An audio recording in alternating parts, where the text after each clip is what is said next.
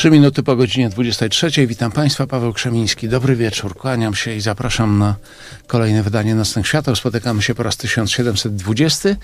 Nocne Światła od poniedziałku do czwartku, o tej właśnie porze, tuż po 11 wieczorem. E, spotykamy się na dwie godziny, dzisiaj też e, na 120 minut e, rozmowy. Mm, przypominam, że na częstotliwościach lokalnych Radia Plus można nas odbierać w całym kraju na całym świecie przez internet ze strony radioplus.pl.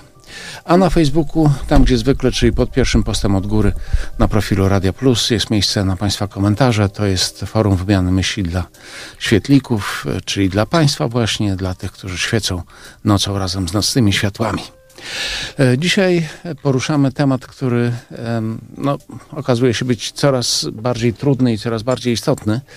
Mówić będziemy o uzależnieniach dzieci i młodzieży w XXI wieku i o tym, jak uchronić dzieci przed zagrożeniami, a Państwa i moim gościem w cyklu na kozetce i zarazem współtwórczynią tego cyklu jest psycholog, terapeutka z Centrum Psychoterapii Integratywnej Anna Czyżewska. Witam Cię serdecznie, dobry wieczór. Witam serdecznie, dobry wieczór.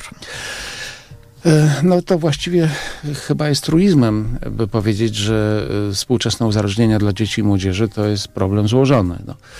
Bo, mhm. bo wiemy doskonale, że tak, tylko teraz próba wyekstrahowania e, poszczególnych elementów, które składają się na przyczyny tego uzależnienia, to jest już dużo głębsza i trudniejsza sprawa. Natomiast no to y, samo zjawisko uzależnień, szczególnie tych cyfrowych, bo oni, im, im poświęcimy sporo czasu, y, zmienia się no, z roku na rok, a właściwie można powiedzieć, że zmienia się wraz z kolejnymi generacjami nowego sprzętu i oprogramowania, czyli średnio co kwartał, a być może już właściwie linearnie, czyli, czyli stale, stale ciągle. No natomiast tutaj patrząc już nie na to, co, do, czego się odnosi uzależnienie, tylko na samo dziecko, no to właściwie E, w takim okresie dojrzewania, w okresie rozwojowym, no to mm, jest mnóstwo takich trudności interpretacyjnych w zachowaniu, w zachowaniu dzieci, w zachowaniu nastolatka. Jak więc e, przyglądać się tym młodym ludziom, e, jak rozpoznać te objawy nałogu, to wcale nie jest proste. Już mm, myślę, kiedy mm -hmm. rozmawialiśmy mm, w poprzednich dekadach o kwestiach dotyczących uzależnień młodych ludzi, to takich, które są ewidentnie rozpoznawalne, czyli e, alkohol, narkotyki, środki psychoaktywne itp. itd., no takie, które wymieniamy pierwszym, jednym tchem mhm. i pierwsze nam przychodzą na myśl i, e, i wtedy wcale nie było łatwo rozpoznać, dlaczego młody człowiek wchodzi w takie uzależnienie i jak rozpoznać te objawy nałogu, szczególnie na wczesnym etapie. A teraz no, oczywiście można widzieć, że dziecko, mówiąc językiem młodzieżowym, przyspawane jest do komputera, do telefonu, do, do tabletu czy do e, konsoli z, z grami, e, ale to jeszcze nie wszystko. To jeszcze nie wszystko, bo pytanie o to tak naprawdę, e, gdzie jest źródło tego e, uzależnienia jest, e, powiedziałbym, zasadnicze. Ale e, zanim, zanim zaczniemy zgłębiać poszczególne kwestie dotyczące uzależnień i i młodych e, ludzi, którzy w te uzależnienia wchodzą, e, to no, chciałbym jednak spojrzeć ogólniej, by przybliżyć to, czym uzależnienie jest w ogóle, jak, jak je definiować, bo uzależnienie bez względu na to, czy dotyczy internetu, czy zakupów, czy mycia rąk, czy, czy czegokolwiek innego, tak naprawdę jest tym samym mechanizmem i tą samą chorobą. Tak, tak, tak. No, uzależnienie jest to mm, taki stan, y, w którym osoba doświadcza silnej potrzeby dostarczenia sobie, czy też właśnie jakiejś substancji y, aktywnej, y, czy też doświadcza potrzeby wykonania jakiejś czynności. O uzależnieniu mówimy wtedy, kiedy jakby ta ta silna potrzeba y, zrobienia tej rzeczy y, dominuje nad innymi potrzebami, tak? I, y, i trudno jest też ją kontrolować, tak? Kiedy, kiedy na przykład, nie wiem, odbierze się osobie tą, czy substancję, czy właśnie, tak, możliwość wykonywania jakiejś czynności, czy na przykład telefon, no to y, ta osoba doświadcza jakiegoś negatywnego stanu, czy też emocjonalnego, czy też też y, ma jakieś objawy negatywne fizjologiczne, tak, związane z tym, że, mm, że właśnie mm, no, ta osoba nie może w danym momencie wykonać tej czynności, czy też zażyć jakiejś właśnie substancji. E, pojawia się, pojawiają się właśnie takie konsekwencje jak rozdrażnienie, y, tak, y, czy jakieś podenerwowanie, czy, czy, właśnie, czy właśnie jakiś smutek, czy złość, tak, no pojawiają się y, różnego rodzaju stany emocjonalne, które pokazują, że, mm, że odebranie tej czynności, czy też właśnie substancji pokazuje że ta osoba no, już w jakiś sposób sobie nie radzi z, z brakiem tego. Czyli gdyby tak sprowadzić to do najprostszego e, sposobu rozumienia, to tak jak kiedyś e, mówiliśmy tutaj o obsesjach wiele lat temu, że to jest pewnego rodzaju przymus. Przymus mm -hmm. robienia pewnych czynności, czyli tak. niezależnie od objawów, e, no to możemy powiedzieć, że to jest po prostu organiczny czy psychiczny przymus robienia e, jakichś rzeczy, czy psychosomatyczny także czasami. Tak tak, tak, tak. Mhm. zaspokajania jakiejś potrzeby, która, która dominuje nad osobą. Tak, przy czym jakby w uzależnieniu mm, no, chodzi o to, jakby y, o tą przyjemność, tak? Czyli, czyli jakby uzależniamy się generalnie od rzeczy, które nam przynoszą y, jakąś przyjemność, tak? No bo, bo jeżeli mówimy o o zaburzeniach jakichś obsesyjno-kompulsywnych, tak, no to tam, e, e, tam chodzi o redukcję lęku. Natomiast e, w uzależnieniach chodzi o, o, że jakby przyjemność jest pod tą podstawą, która jakby może doprowadzić, dostarczanie sobie tej przyjemności może doprowadzić do uzależnienia się od tej danej substancji czy też czynności. No tak, tak Ale jakby doświadczamy przyjemności inne, podczas y, kiedy korzystamy z danej y, jakby y, czy właśnie jakiegoś tam urządzenia, czy, czy, czy korzystamy, możemy się też uzależnić od sportu. No i tak naprawdę mózg ludzki jest w stanie uzależnić się naprawdę od wszystkiego. No tak. E, tutaj słusznie zauważyłaś, że, że to są dwie różne rzeczy, jeśli chodzi o przyczyny i, e, i potrzeby, ale sam mechanizm przymusu. Tak, e, tak Bardziej tak, tak, tutaj tak. Mi, mi to skojarzenie mm, jakoś Także nasunął. jest bardzo silna tak. potrzeba wykonania y, danej czynności, czy, czy nie wiem, sprawdzenia telefonu, prawda? Czy zajrzenia do Facebooka, czy, czy zobaczenia TikToka jakiegoś, prawda? Czy jak to młodzi ludzie mają te wszystkie jakieś tam birile i tak dalej, tak? Gdzie chodzi o to, że jeżeli nie zobaczymy w danym momencie, bo to się tylko pojawia przez chwilę, tak, y, no to już nie będziemy, to już będziemy poza tym, poza tą sytuacją, tak? Już nie, nie, nie zobaczymy tego zdjęcia, nie zobaczymy tej sytuacji, w której dana osoba się znalazła, więc jakby to też mm, mm jakby generuje potrzebę nieustannego Gen śledzenia tak, sieci. Tak, tak, tak, tak, tak. Generuje właśnie ciągle potrzebę sprawdzania. Jeśli chodzi o rodzaje uzależnień, no to rzeczywiście jest ich, e, tak jak tutaj powiedziałaś, no, no multum. Tak naprawdę chodzi o to, żeby ten ośrodek nagrody dostał y, odpowiednią dawkę dopaminy czy tak. innych neurotransmiterów, mm -hmm. które -hmm. Ale głównie e, chodzi tutaj właśnie o dopaminę. Tak, tak. No, Niemniej problem jest taki, że z uzależnieniem mm, bywa tak, że ono znaczy ta potrzeba dostarczania dopaminy eskaluje. E, więc ta dawka, którą dostarczało mhm. uzależnienie na początku, już po jakimś czasie jest e, absolutnie za mała i nie daje tego poczucia zaspokojenia. Tak, jest to generalnie problem naszych czasów, tak, tak się mogłoby wydawać, bo my mamy wszystkiego dużo w nadmiarze. E, właściwie na nic e, praktycznie nie czekamy, nie mamy tego momentu takiego odraczania tej nagrody, prawda? To, w zasadzie no, za duża po prostu jest dostępność do, do, do tego, żeby mózg dostał nagrodę w postaci właśnie przypływu jakiejś dopaminy. E, w związku z czym my się w ogóle nie uczymy odraczania nagród, nie uczymy się czekania na, na nic, tak? No jakby to, to, się, to się bardzo diametralnie zmieniło. Na przykładzie, no myślę, że, że ludzi tam w okolicach 40 y, y, czy 50 lat i, i wyżej, no to zapewne wszyscy Państwo pamiętacie czasy, w których jadło się pomarańcze dwa razy do roku, bo dostawało się taki, taką, taki przydział taki, nie wiem, tam z jakichś różnych miejsc pracy, to dostawało się taką paczkę ze słodyczami i tam były pomarańcze. I, I tak naprawdę ta pomarańcza to było coś nieprawdopodobnego. I to było tak pyszne i tak pachnące, tak cudowne, natomiast... No, pod warunkiem, tej... że nie były to kubańskie.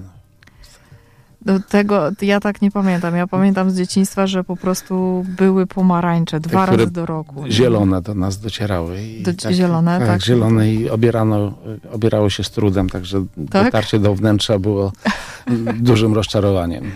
No, być może. Ja nie zaznałam akurat tego, y, tego przypadku zielonych pomarańczy, natomiast no, to wszystko powszednieje, tak? No teraz pomarańcza już nie, nie ma takiego y, fajnego wydźwięku jak kiedyś, tak? Kiedyś y, no naprawdę y, to przenosiło nas do, do wspomnień, do jakichś fantastycznych momentów, do, do jakiegoś wyjątkowego okresu w naszym życiu.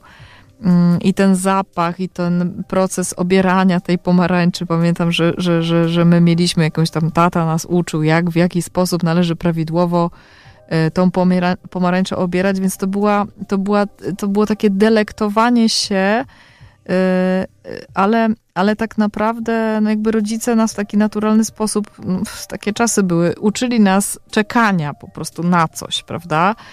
E, w związku z czym nie mieliśmy możliwości przyzwyczajać się, czy też uzależniać aż tak bardzo od czegoś, bo tego po prostu na co dzień nie mieliśmy. I no, teraz... Było dużo alkoholu.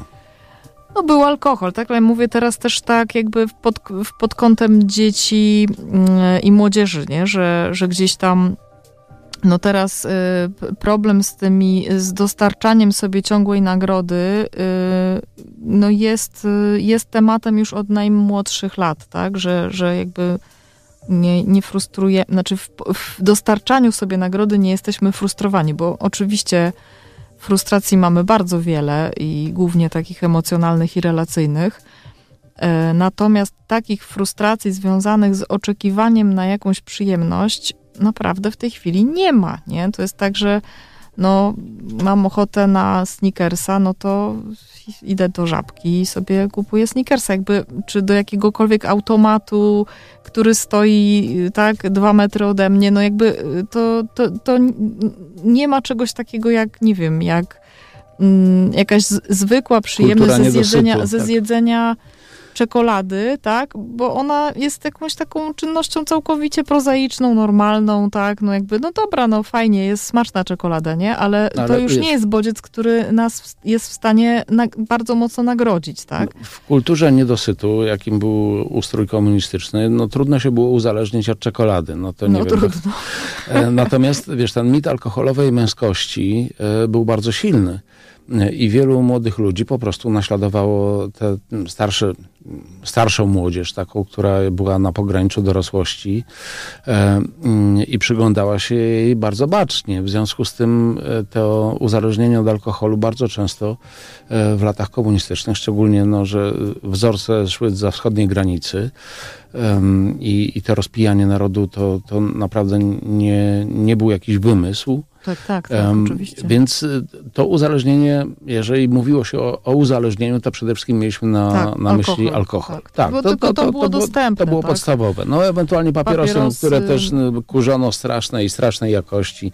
W tej chwili, y, jeżeli w amerykańskim kinie pojawia się jakiś palacz na ekranie, to znaczy, że jest to degenerat. No. Mhm. Dawniej, prawda, jeszcze mhm, pamiętamy to tak. kino z lat 70., 80., jeżeli ktoś otaczał się dymem papierosa, no to była to ciekawa postać, prawda. Mhm. Teraz no, to już absolutnie y, takiego, takiego przekazu nie ma, więc widzimy, iż faktem jest, że y, ta kultura używek zmieniła się i podejście do niej. Natomiast zupełnie zmieniła się również ta sfera E, uzależnień. Oczywiście nie jest tak, że od alkoholu nie można się uzależnić nadal, bo półki są, uginają się do alkoholu. Wystarczy się przejść wieczorem i zajrzeć do sklepików, które działają 24 godziny na dobę i tam jest pełna gama.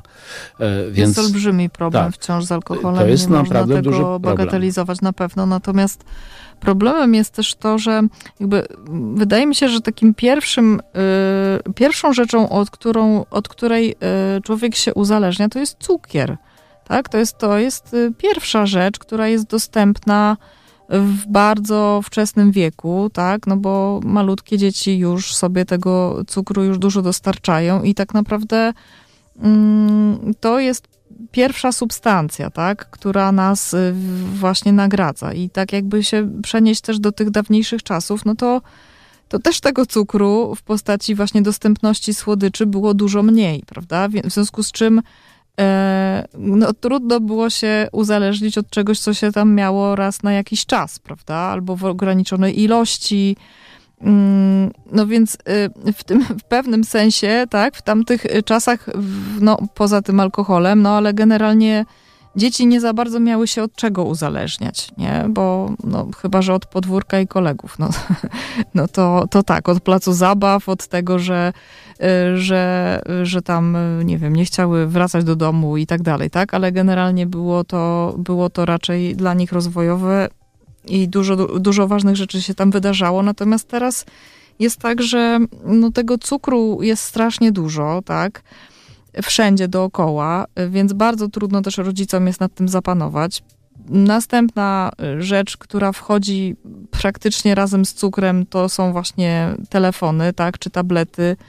E, już nawet nie sama telewizja, tylko właśnie mm, tablety i telefony, które dzieciom są dawane już w bardzo wczesnym e, okresie życia już, nie wiem, można obserwować e, zainteresowanie telefonem u kilkumiesięcznych dzieci. Nie? Już kilkumiesięczne dziecko, e, widząc z jaką atencją rodzic y, przygląda się temu telefonowi, już wie, że to jest coś fajnego, już jest zainteresowane tym, żeby, żeby, żeby właśnie wyciągać rączkę po telefon. Już y, obserwuje rodziców i wie, że tam sobie paluszkiem trzeba przesunąć w prawo czy w lewo, prawda? I, i dostanie się nagrodę w postaci jakiegoś zmieniającego się obrazka. Więc, y, y, więc wydaje mi się, że, że problem uzależnienia, uzależnień behawioralnych y, w tej chwili i jakby wiek, od którego to się rozpoczyna, jest y, no, bardzo, bardzo duży, bardzo duży, że jakby wciąż nie zdajemy sobie z tego sprawy, mm, no jakie, mm, jakich to jakby właśnie w jakie uzależnienia mogą być wpędzone dzieci w bardzo, bardzo wczesnym wieku. Za chwilkę porozmawiamy, proszę Państwa, o tym, jakie są objawy uzależnienia, co najpierw należy co powinno przynajmniej wzbudzić e, niepokój e, wśród osób dorosłych, wśród opiekunów, rodziców, którzy widzą takie zachowania u dzieci i młodzieży. Dzisiaj bowiem w cyklu na kozetce o uzależnieniach dzieci i młodzieży w XXI wieku rozmawiamy, a także o tym, jak uchronić dzieci przed zagrożeniami.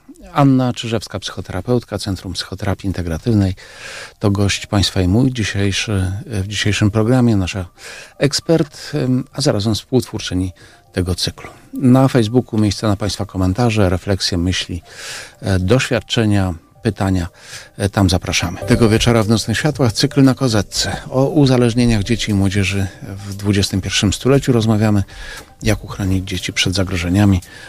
Ekspert nasz tego wieczora, Anna Czyżewska, psychoterapeutka z Centrum Psychoterapii Integratywnej.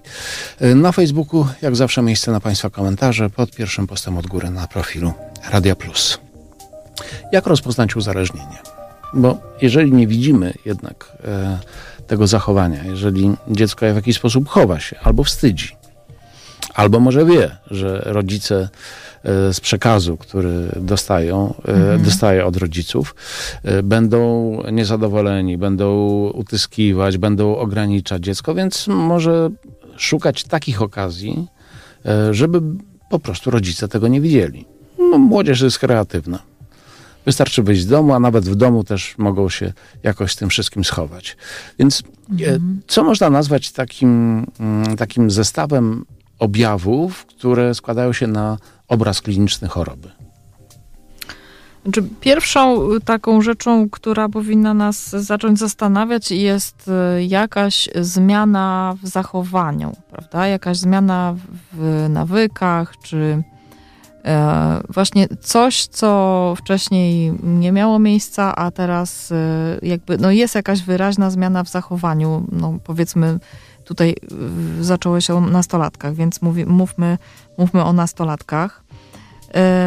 Drugi taki częsty objaw jest taki, że mm, nastolatek zaczyna mieć bardzo duże wahania nastroju i ta amplituda jest y, dosyć duża, czyli to jest tak od euforii po, y, po jakieś stany takie y, bardzo depresyjne.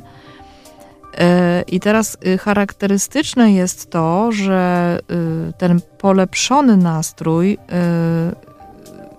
jakby dzieje się w momencie wykonywania tej czynności uzależniającej, a rozdrażnienie następuje po zakończeniu tej czynności, czyli Czyli jest ten stan euforii, kiedy, kiedy właśnie ta osoba może no właśnie coś robić, tak, co, co, czy na przykład grać w gry, prawda, i wtedy jest szczęśliwa i w ogóle, a kiedy kończy tą czynność, to po tym zakończeniu nie ma jakiejś satysfakcji, tak, że, że fajnie było pograć, czy fajnie było tam, nie wiem, nawet pogadać sobie, pobawić się z kolegami, nawet jeżeli to jest w formie tej gry online czy coś takiego, tylko właśnie pojawia się jakiś rodzaj rozdrażnienia.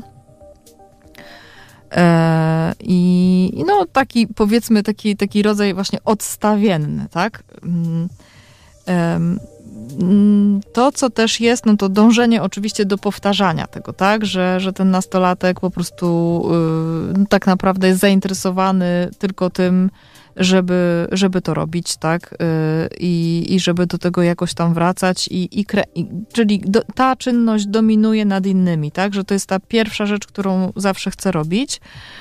E, też bardzo częstym właśnie objawem jest to izolowanie się, tak? Czyli czyli mm, no, w zależności od tego, co to jest tą, tą czynnością, tak? Bo, bo może, nie wiem, powiedzieć rodzicom, że idzie na spacer, a tak naprawdę y, siada po prostu 50 metrów za domem i, i skroluje TikToka i tam siedzi na czatach jakichś różnych i tak dalej i tak naprawdę, no i rodzice myślą sobie, o fajnie, y, tak, dziecko, które nigdy nie chciało chodzić na spacer, teraz nagle pomyślało sobie, że no dobrze, no to fajnie, to cieszymy się, dziecko idzie na spacer, prawda? I, i, i zażyje z trochę świeżego powietrza, odetchnie trochę, oderwie głowę od tego ekranu, tak?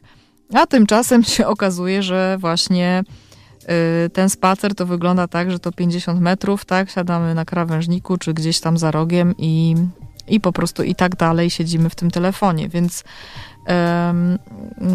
no właśnie też, też myślę, że no taka jakaś nad, nad, nadmierna skłonność do kłamania się też pojawia często, prawda? Y, że gdzieś tam właśnie, no tak jak już przytoczyłam ten spacer, tak? No to y, to dziecko mówi, że idzie wykonywać jakąś pożądaną, tak, przez rodziców czynność, że, którzy uważają, że to, co ma zrobić jest fajne, tak naprawdę jest to tylko pretekstem do tego, żeby w ukryciu właśnie nadal e, wykonywać jakąś czynność, która, e, która no, jest tą czynnością uzależniającą. A co jeszcze oprócz tego może być, e, jeśli chodzi o zachowania, emocje? Bo no wiadomo, że młodzi ludzie no, mają nieraz taką huśtawkę nastrojów, jak to tak, e, mawiają. Tak, tak, tak, oczywiście. Znaczy ja może nie miałem takich problemów, ale na przykład moje koleżanki, które mają dorastające córki, mówią, że przytulają się, a za pięć mm -hmm. minut po prostu skaszą z pazurami do oczu. Mm -hmm.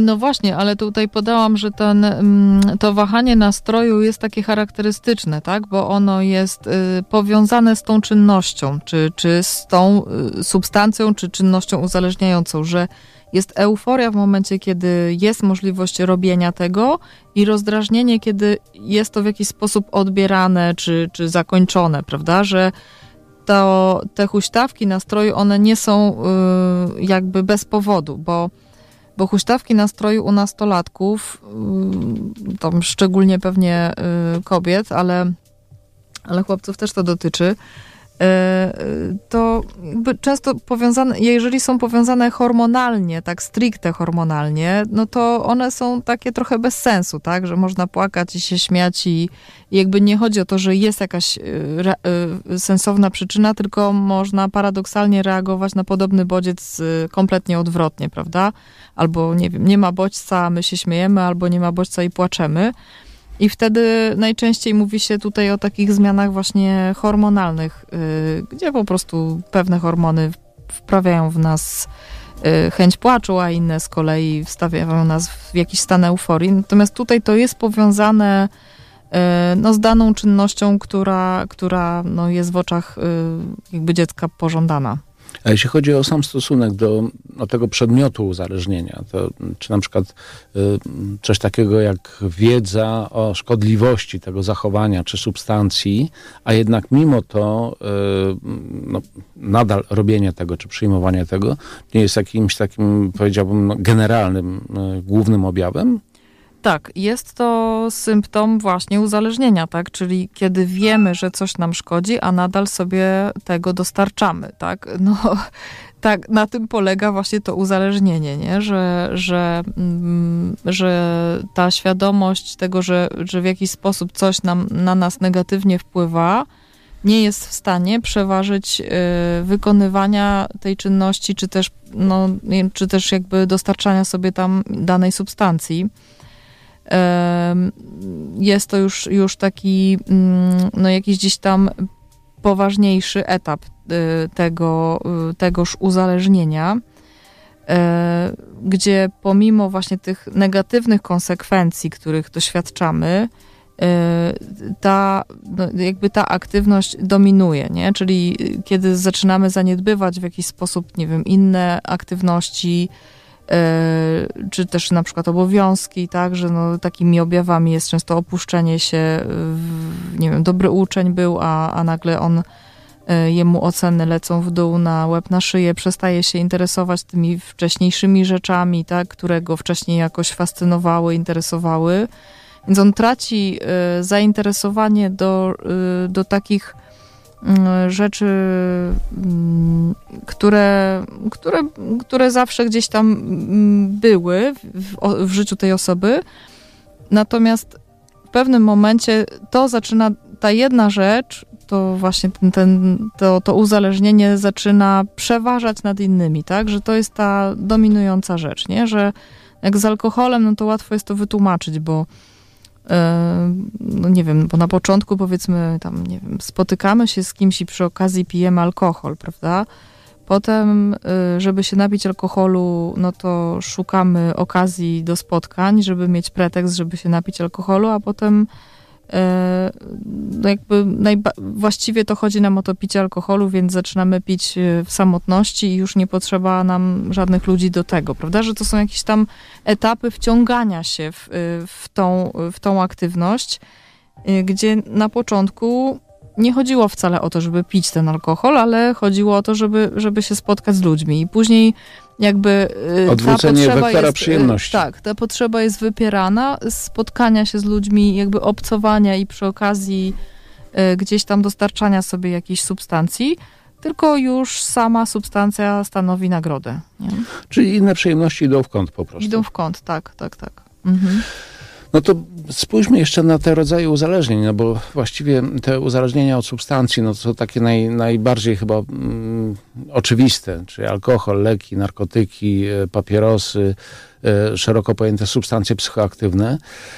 No ale te uzależnienia od zachowań to jest coraz większa grupa. No oczywiście możemy też um, mówić o takich uzależnieniach, które stricte przychodzą do nas z zewnątrz, jako pewnego rodzaju um, atrakcyjna forma, um, która jest od razu nam zaoferowana jako pewien pakiet, czyli właśnie konsola do gier, telewizja, e, komputer i tak dalej, ale mogą być też uzasadnienia czynnościowe, jak chociażby wspomniane tutaj mycie rąk, czy kompulsywne sprzątanie, czy, czy, czy zakupy i tak dalej, i tak dalej. Czyli jakby ten wektor jest skierowany albo do nas, albo od nas. Na, natomiast co się dzieje w człowieku, e, skoro, skoro on e, wybiera, że tak powiem, z tej rzeczywistości coś takiego, co mu pozwala na to, żeby ten bodziec zrealizować.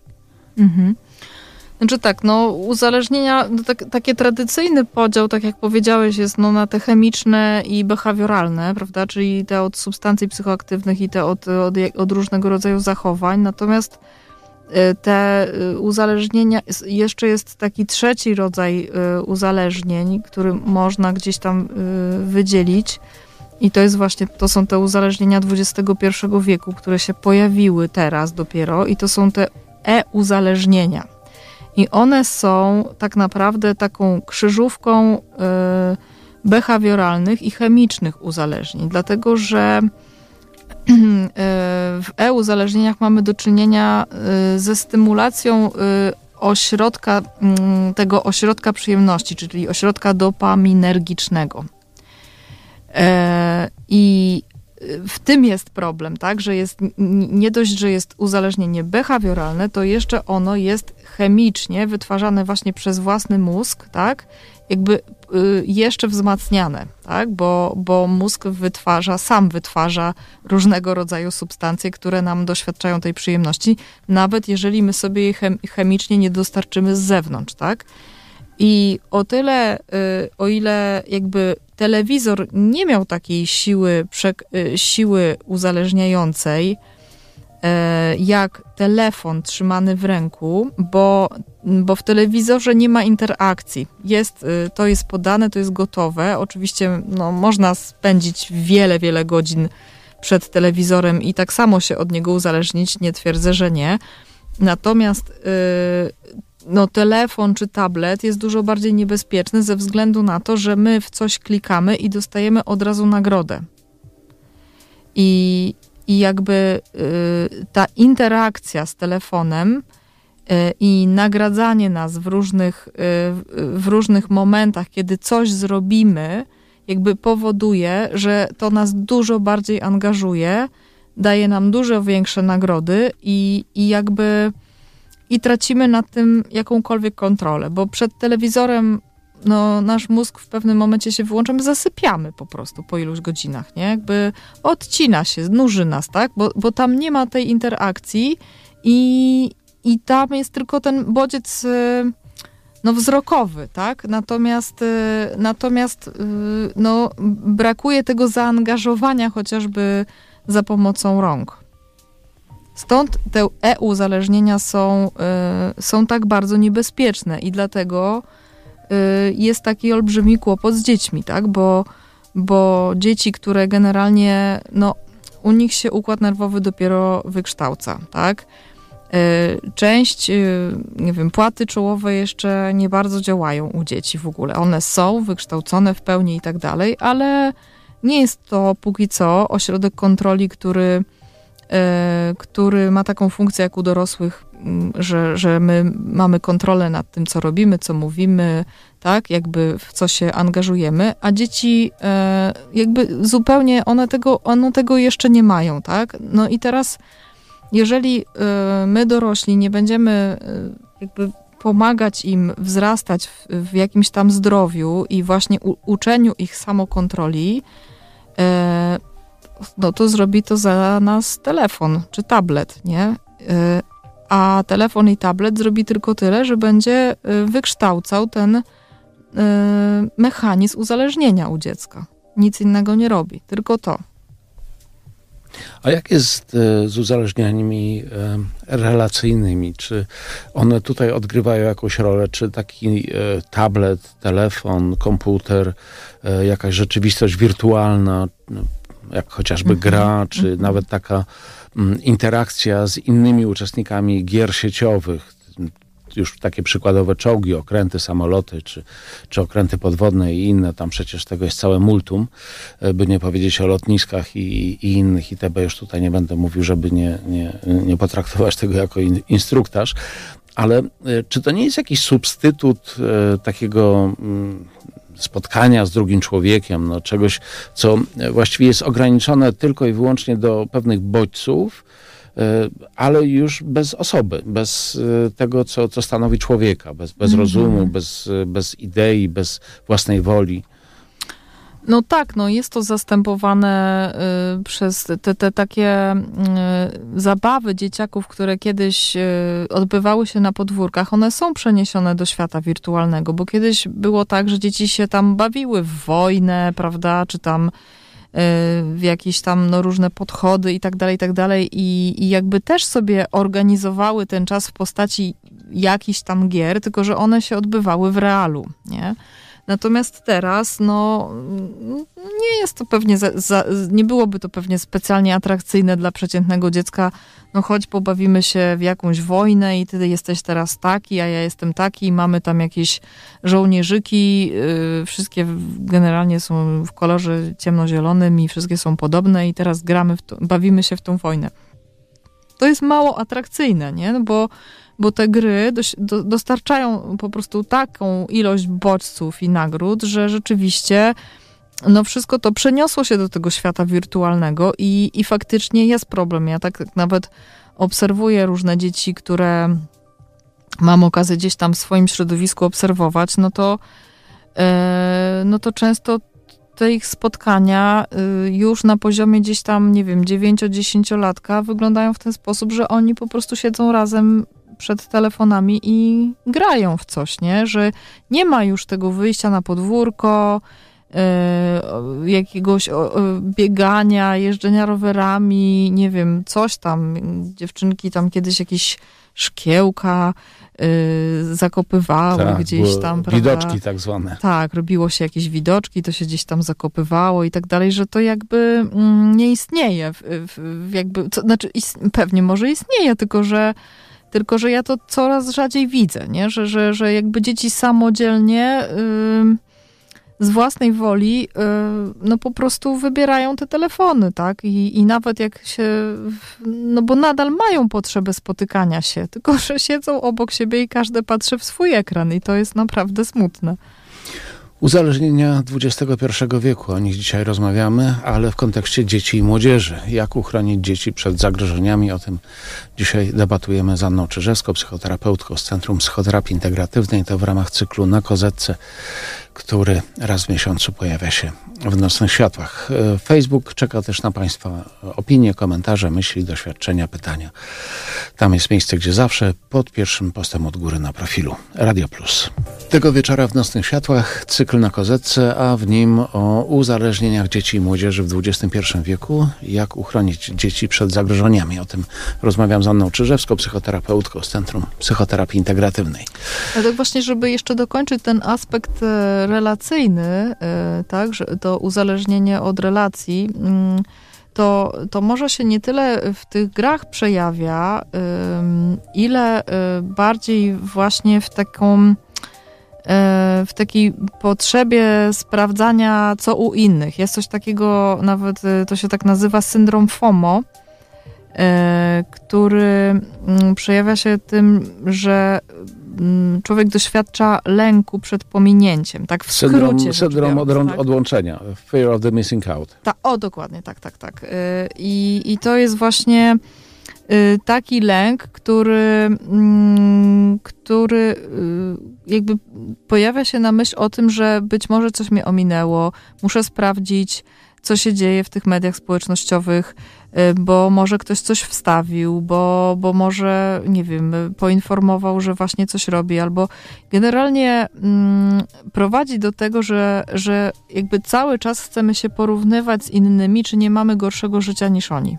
Tak? Więc e, wciąż musimy zarówno coś wstawiać, jak i jak również no jakby patrzeć co ci ludzie y, tam, jakby czego oni tam w swoim życiu mm, doświadczają i y, no, prowadzi do, do ciągłej oceny jakości swojego życia. No i oczywiście y, no, nie jest to często przyjemne, tak, ale w momencie, kiedy mm, pojawia się myśl, dobra, to może ja tego nie będę sprawdzał, no to nie mogę tego nie sprawdzać, bo on już coś mnie ominie ważnego, prawda? I będę wykluczony, wykluczona I to, I to nie tylko zdarza się właśnie młodym ludziom, ale też i dorosłym. Nie? Jakby mm, u dorosłych często to się przejawia na przykład w takim takiej potrzebie bycia na bieżąco z informacjami, tak? I ciągle sprawdzaniem nowych wiadomości, żeby, żeby wszystko, wszystko tak, na bieżąco Żeby, żeby kontrolować świat. Żeby, tak. żeby kontrolować świat. No to nastolatki chcą kontrolować swoich znajomych, nie? I jakby nie, nie mogą nie mogą właśnie się odłączyć od, od internetu, bo cały czas muszą wiedzieć, często sprawdzają na przykład sobie, gdzie kto jest w danym momencie, prawda, z kim, bo tam mają takie możliwości sprawdzania w tych telefonach i, i obserwują, prawda, a ta jest teraz tutaj, aha, a, a z tym jest, prawda? Bo jak się pojawia takie, taka, mm, to mi córka czasem pojawia, pokazuje, jak się pojawia takie zdjęcie tej osoby i, i drugie zdjęcie gdzieś w pobliżu, no to najprawdopodobniej te osoby właśnie gdzieś są razem albo są w pobliżu i tak dalej, tak? E, więc, więc to, to, to takie niby niewinne śledzenie i w ogóle taka niby fajna zabawa, ale właśnie prowadzi do tego, że E, że często gdzieś tam doświadczamy takiej bardzo też negatywnej oceny, tak, y, samych siebie. E, myślę, ale też że, kontroli w gruncie rzeczy. No jest to taka pseudokontrola, tak, no, no, no, tak, ale prowadzi też do, do, do wielu konfliktów, bo nie wiem, nagle się okazuje, że nie zostaliśmy zaproszeni na jakąś imprezę, Albo, że... Albo, że Maryśka że była ze Zdziskiem, a nie poszła ze mną. Tak? tak, że moja przyjaciółka spotkała się z inną przyjaciółką i, i na przykład, a, a ze mną nie chciała. Mi powiedziała, że musi się uczyć, a teraz y, właśnie sobie spędza czas, czas z kimś innym.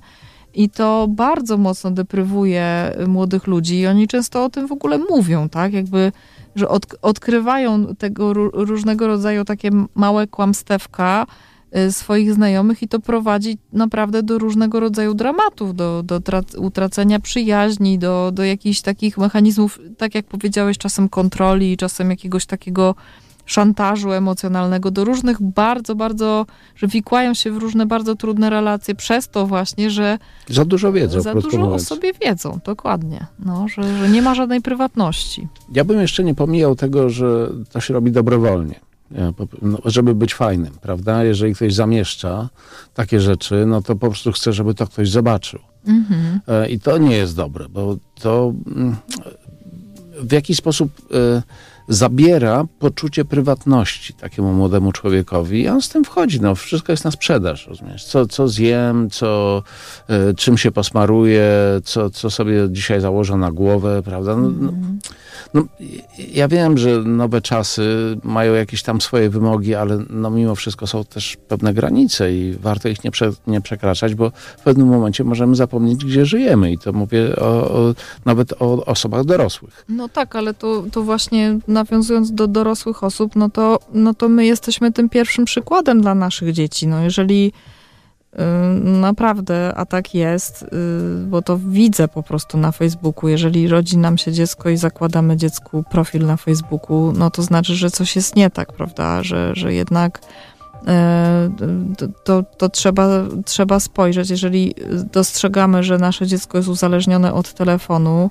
I smartfon na pierwszą komunię. E, no tak, to, to już jest standard, prawda? Już się nikt temu nie dziwi nawet.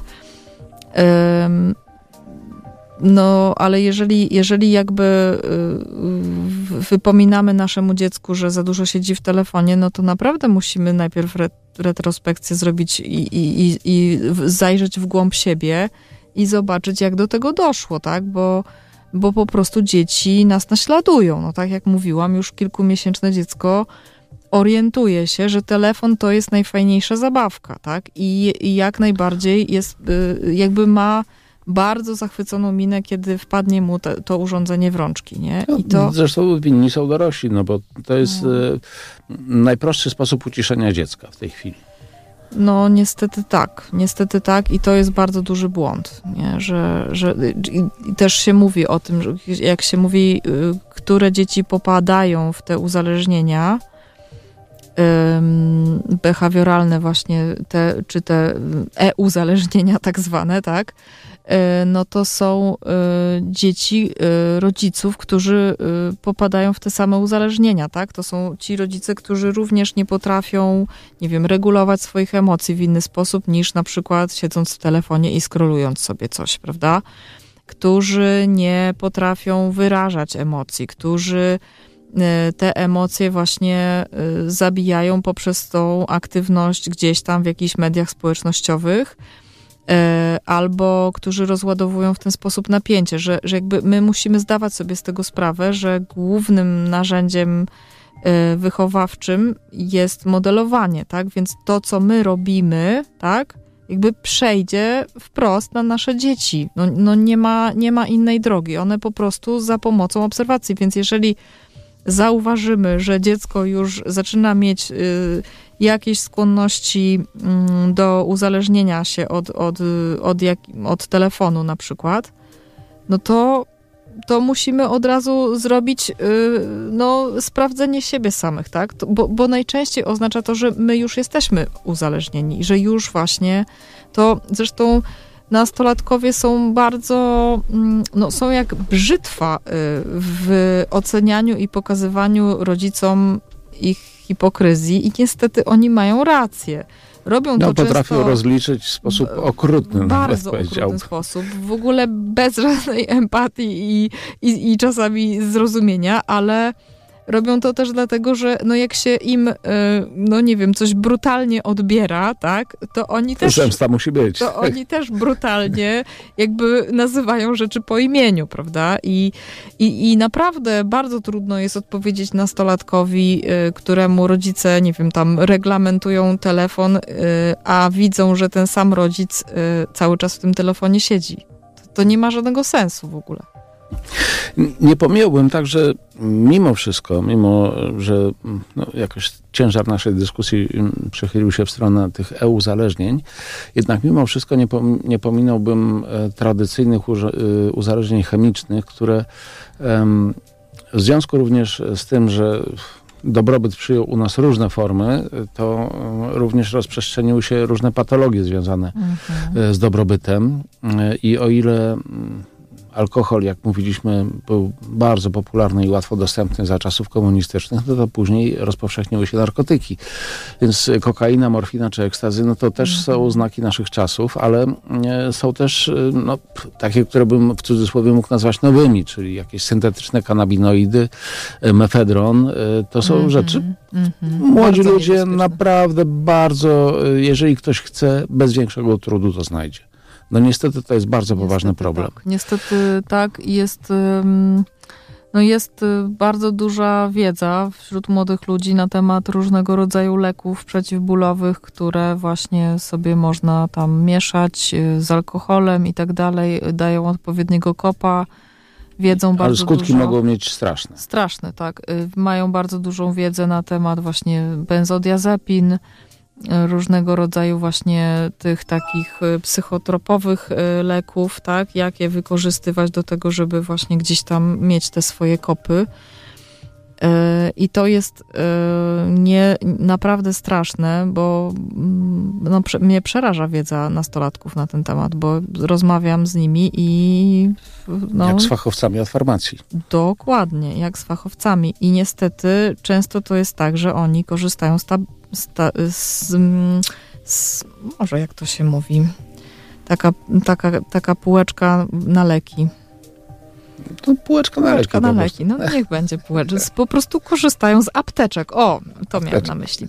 Z apteczek swoich rodziców, czy też y, swojej rodziny, tak? No jest y, olbrzymi problem na przykład z lekami y, opioidowymi, które są podawane w leczeniu przy nowotworach tak? I w momencie, kiedy, nie wiem, osoba z nowotworem umiera, to leki zostają, tak? I uprzedzam wszystkich rodziców, żeby po prostu je, y, no... Odnieść do hospicjum na przykład. Czy, czy w jakiś sposób odnieść do hospicjum, zrobić cokolwiek z tym, czy nawet y, zanieść do apteki i na, na leki przeterminowane cokolwiek.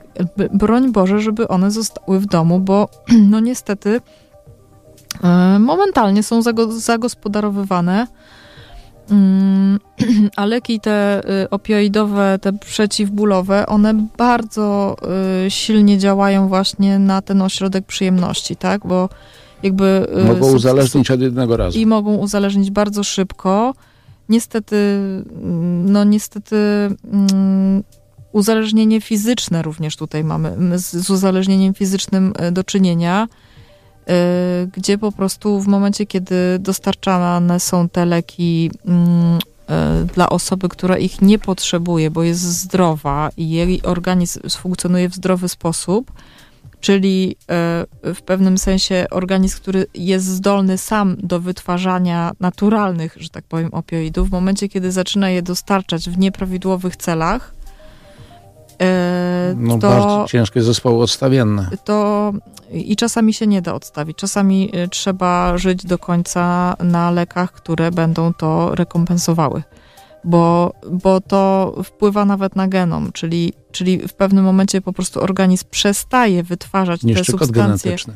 Niszczy kod genetyczny i ten organizm przestaje wytwarzać te substancje samodzielnie, a bez nich nie da się żyć, tak? Bo, o, bo objawy odstawienne są tak straszne, że no jakby no, no nie jesteśmy w stanie poradzić sobie, wytrzymać tego bólu. To jest, to jest, to jest tortura po prostu dla no, organizmu. Pokolenie LSD tego doświadczyło przecież. Yy, jeszcze raz? Pokolenie LSD mhm. tego doświadczyło. Yy, no i właśnie, yy, tak, i właśnie problem polega na tym, że, że to też pewnie, z czego młodzi ludzie zupełnie sobie nie zdają sprawy, że, że ponieważ te, te różnego rodzaju substancje chemiczne, one są no, oczywiście w obiegu nielegalnym, to, to tak naprawdę one są często bardzo zanieczyszczone i te zanieczyszczenia powodują trwałe uszkodzenia w mózgu.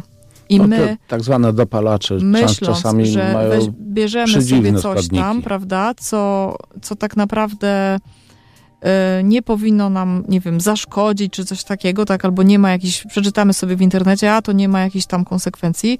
Tymczasem tak naprawdę nie wiemy, co bierzemy i może być tak, że uszkodzenia mózgu są i one są nieodwracalne.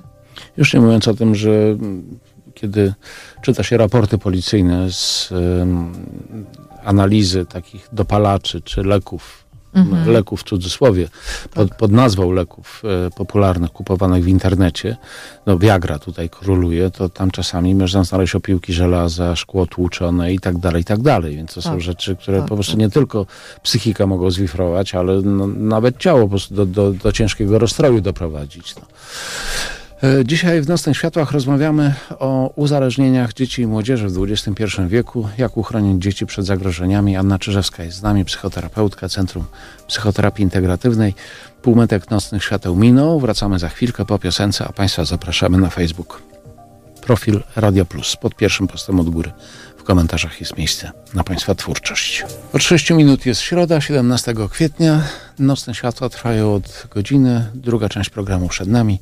Do pierwszej będziemy z Państwem i tego wieczora w cyklu na Kozetce rozmawiamy o uzależnieniach dzieci i młodzieży w XXI wieku i jak uchronić dzieci przed zagrożeniami. Jest z nami współtwórczyni cyklu, psychoterapeutka z Centrum Psychoterapii Integratywnej Anna Czyżewska, a Państwa zapraszamy na Facebook, gdzie na profilu Radia Plus jest miejsce na komentarze, e, doświadczenia, myśli, refleksje i pytania. Małgorzata napisała tak. Nie wiem dokładnie w jakim stanie są polskie rodziny, ale mam przekonanie, że jeśli dziecko od rodziców i najbliższej rodziny dostaje poczucie bezpieczeństwa, czuje się ważne, rozumiane, niewyśmiewane, niezbywane z problemami, wartościowe, z tym, jakie jest e, to w świecie, umie wybrać to, co dobre. Bo uzależnienie to chyba sposób na radzenie sobie z problemami, głodami psychicznymi, emocjonalnymi, bardzo trudne zadanie w świecie, w którym rodzice mają swoje rany i sobie z nimi nie radzą, bo z pokolenia na pokolenie ten problem narasta. A wokół jest mnóstwo propozycji i okazji, żeby sobie w życiu ulżyć, choć na chwilę wyluzować. Jaki procent społeczeństwa podejmuje tak zwaną pracę nad sobą, a ile osób rezygnuje z lenistwa lub nie wierzy w sens? Mm. Ja miałam w życiu bardzo dużo szczęścia, jakąś specjalną łaskę Bożą, że się nie uzależniłam, bo z alkoholem mogłam się polubić. W dzieciństwie wieczorami sięgałam do barku i próbowałam różnych trunków. Zdarzyło mi się też, że tato dawał mi trochę piwa cytrynowego, aż usłyszałam w homilii, że przed osiemnastką nie wolno pić alkoholu i dziwiłam się, dlaczego rodzice mi o tym nie powiedzieli. Ponadto odbieram wrażenie, że w społeczeństwie zanika poczucie wstydu i przyzwoitości. Kiedyś choroba była nazywana chorobą, dziś afiszuje się jako coś fajnego. Zaciera się pojęcie dobra i zła, więc jak w ogóle nazywać coś uzależnieniem. No tak, tutaj szerszy problem, powiedziałbym dosyć filozoficznie patrzy na to e, Małgorzata, ale jest coś na rzeczy, że e, społeczna recepcja uzależnień też się zmieniła. Oczywiście wiemy doskonale, że są choroby i nad takim człowiekiem trzeba się pochylić, ale myślę, że ta skala e, od momentu, e, poziom, od którego uważamy, że uzależnienie e, jest chorobą, a do jakiego jest akceptowalne, podniosło się dużo bardziej niż za czasów komunistycznych, no bo wtedy wiadomo była woda, jak ktoś chla wódę, no to wiadomo, że no prędzej czy później jest e, uzależniony, no jest po prostu pijakiem, no tak to się wtedy mówiło. No. Mhm. Chlorem... Znaczy, kiedyś to bardziej było widoczne po prostu w takich nagannych też zachowaniach, prawda, tych, tych ludzi. Ale widzisz, młodzieży też nie brakuje. Myślę, że e, jednym z aspektów takich, które tutaj warto by przedyskutować, to są również różne patologiczne zachowania młodzieży, które wielokrotnie powtarzane wywołują zaburzenia w funkcjach mózgu. Mhm. E, czyli lekceważenie norm społecznych, takiej tak. jakiejś umowy społecznej, w którą jesteśmy wpisani. Oczywiście młodzi ludzie mają do tego skłonność e, w ogóle od, od zawsze. To jest chyba taki motor w ogóle działania, e, mhm. pewien, pewien taki pęd tej młodzieńczej energii. Niemniej, jeżeli to się regularnie powtarza i jak tutaj padło już w naszej rozmowie, wie się, ma się świadomość, że to nie jest dobre, nie przynosi dobrych skutków ani ludziom wokół, ani samemu sobie, no to tutaj możemy już mówić o naprawdę poważnej patologii. Mhm. Myślę też, że problemem, problem jakby, który, który gdzieś tam występuje bardziej w tych naszych czasach z tego powodu, że właśnie y, ci nasi młodzi ludzie, którzy teraz gdzieś tam dojrzewają, że oni y, że oni w zasadzie no, od zawsze z tym telefonem y, czy tam właśnie z tabletem mieli do czynienia I w związku z czym mm, są zaburzenia w wytwarzaniu się mm, samokontroli, tak?